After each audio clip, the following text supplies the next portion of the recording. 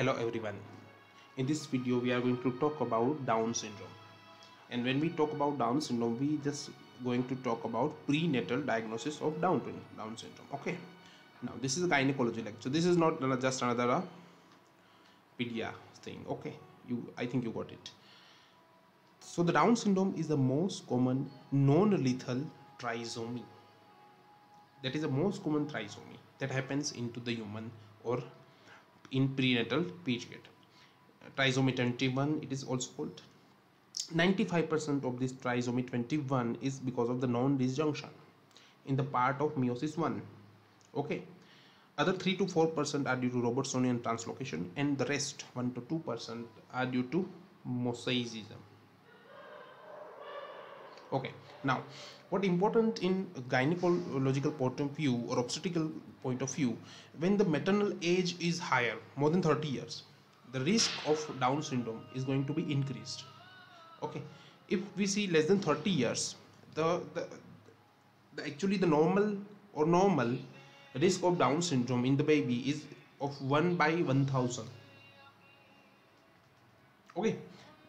And if we go more than 35 the risk steadily increases. If we go to more than 45 year of age with the mother there is a risk is 1 in 30 so it is very high risk.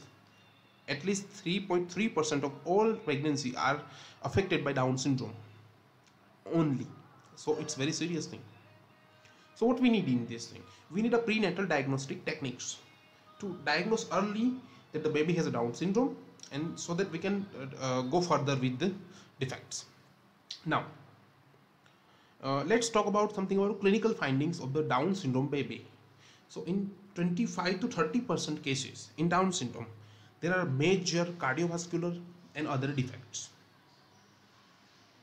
So when we find a, a, a fetus in the mother's womb that if the fetus is of down syndrome we must take a risk of that. There, there is a 25 to 30 percent cases there is a risk of major malformations. So it's a very very high value.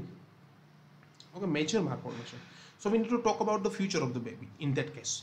Now what are the defects are there? The endocrine uh, endocardial cushion defects vsds uh, git uh, abnormalities. For example an anterior abdominal wall uh, abnormalities are there. So it's it's very much problematic now what are the features? Uh, quickly brachycephaly epicanthal folds upslanting of palpebral features Brushfield spots pharyngeal bridge uh, hypotonia short finger uh, sing, single palm machine hypoplasia of the middle phalanx hypoplasia of the middle phalanx of the fifth finger uh, uh, there is a gap between first and second toe. And yes mental impairment of a mild to moderate category not severe one now let's coming to the exact point we are talking about. We need a screening test. We need to identify accurately that the baby inside the mother's womb the fetus is of down syndrome or not.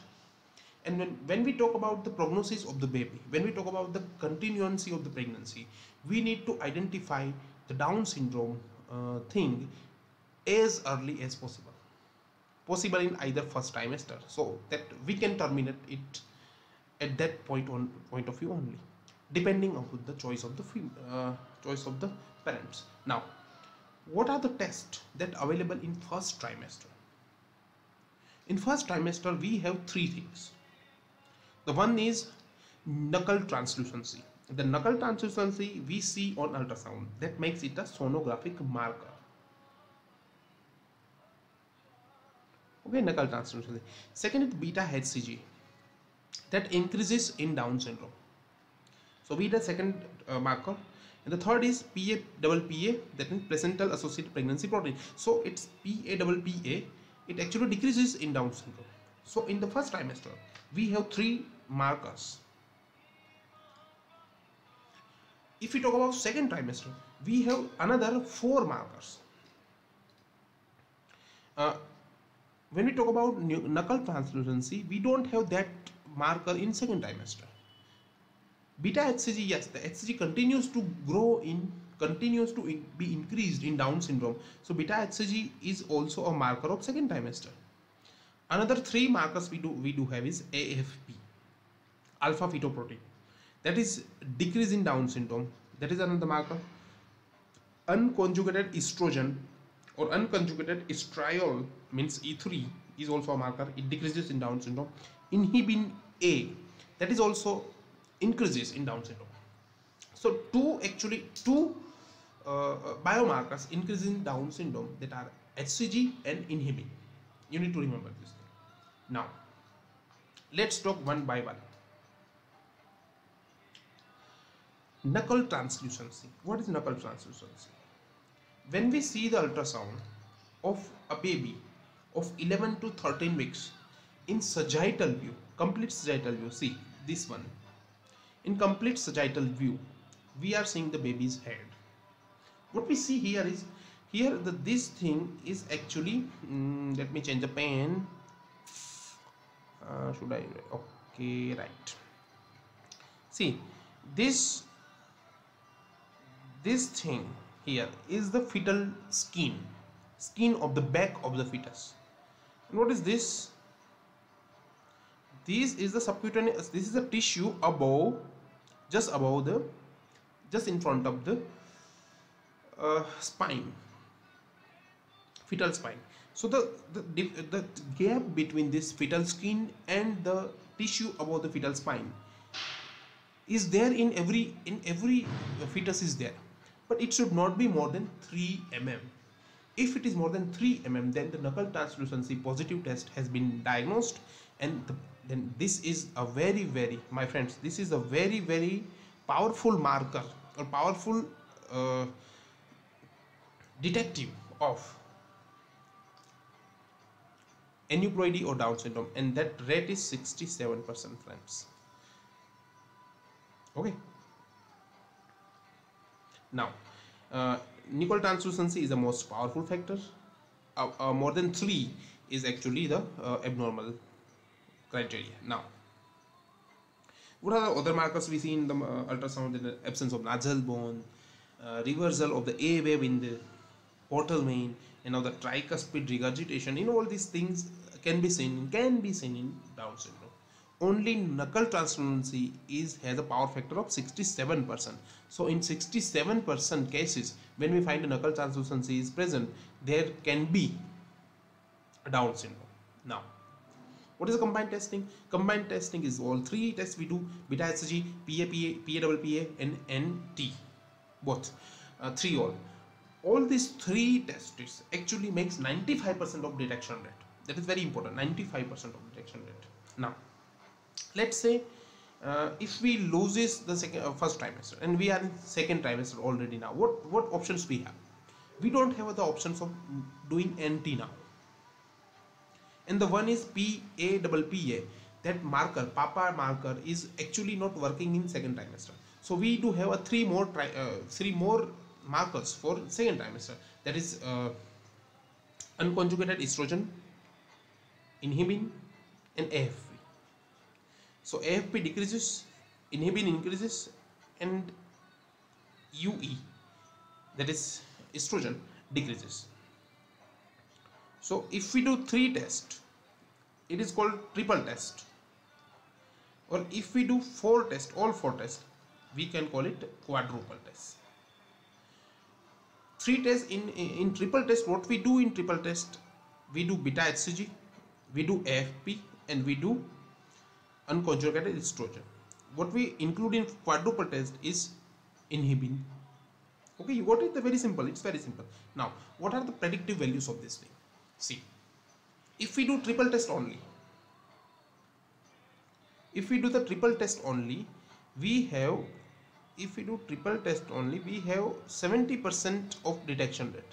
If we do quadruple test we have 85% of sorry 75% uh, of detection rate.